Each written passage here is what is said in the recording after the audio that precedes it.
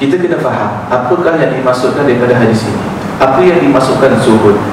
Zuhud ini tidak Mempunyai keinginan Duniawi. Itu yang dipanggil zuhud. Jika dia mempunyai Keinginan duniawi Hanya sekadar di tangan Bukan di hati. Itu adalah zuhud Jadi barang siapa yang zuhud di dunia Allah Ta'ala mencintainya. Bahawasanya apa? Tidak memenuhi nafsu Tidak memenuhi hatinya Dengan perkara-perkara duniawi yang bersifat sementara. Wazhad fi aidin nas. Ataupun di dalam lafaznya Wazhad fi ma'indan nas. Zuhudlah kamu dengan apa yang ada pada tangan manusia.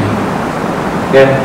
Dia tidak merasa sakit hati. Dia tidak merasa jealous. Dia tidak merasa perasaan yang kecewa kalau orang lain mempunyai lebih daripada dia. Bahkan kepada dia biasa saja orang lain ada kereta besar orang lain ada rumah besar orang lain ada semuanya besar. Dia melihat hanya dengan bersyukur apa yang dia ada. Maka dia akan disukai manusia. Itulah yang dipanggil zuhud eh? Jadi untuk capai kepada tahap ataupun makam tingkatan zuhud ini perlulah kepada perlulah kepada pelajaran. Perlulah melalui tingkatan-tingkatan yang lain sebelum tiba kepada zuhud.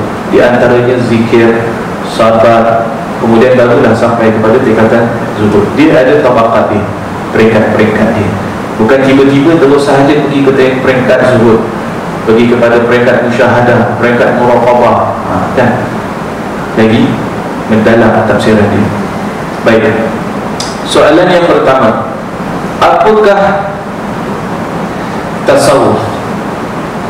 Maka berkata Imam Junaid Imam Junaid Al-Baghdadi Imam Junaid ini merupakan ulama tasawuf yang terkenal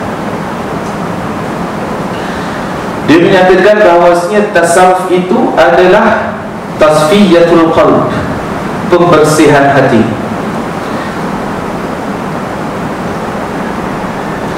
Daripada segala yang bertentangan ataupun yang menentang Allah Subhanahu wa taala dia tiada di dalam hatinya tiada perasaan menentang kepada Allah Subhanahu wa taala wa mufaraqatu akhlaqut tabi'iyah. Dan tasawuf ini mempunyai akhlak kepribadian yang berbeza dengan orang awam.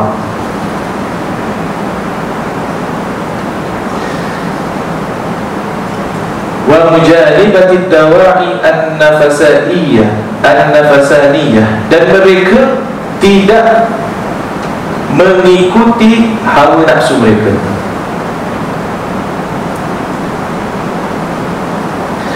Wa manazilatus sifatir ruhaniyah. Dan tasawuf itu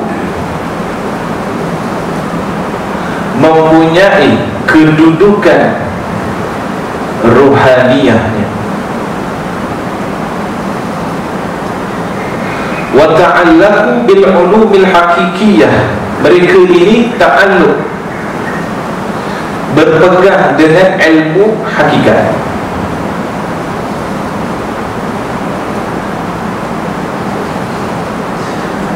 Wa itba'ir rasul sallallahu alaihi wasallam fi syariah. Dan mereka ini mengikuti nabi sallallahu alaihi wasallam di dalam syariat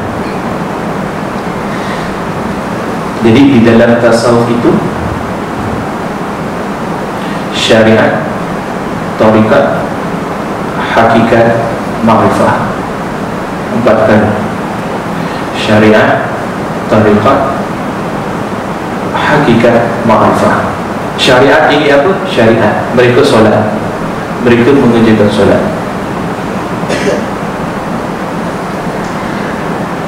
Mereka mengerjakan solat. Di dalam solat mereka menggunakan tariqah cara kaedah yang betul untuk mendapat khusyuk di dalam solat. Eh? kemudian apabila mereka mendapat khusyuk barulah mereka mendapat hakikat di dalam solat. Apa yang dimasukkan khusyuk itu? Barulah mereka sampai kepada ma'rifat ha. jadi persoalan tasawuf ini bukan persoalan orang awam. Tidak. Mesti berguru dengan guru yang musyid guru yang mempunyai ilmu ataupun ilmu guru yang memang di dalam bidang tasawuf